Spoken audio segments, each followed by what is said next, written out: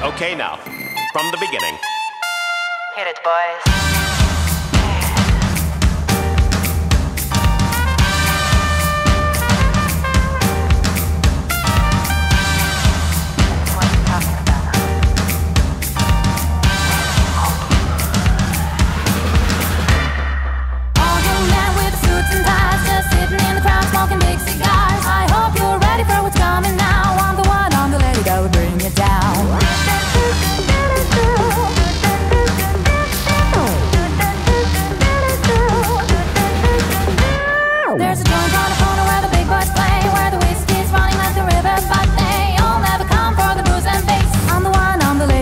this place.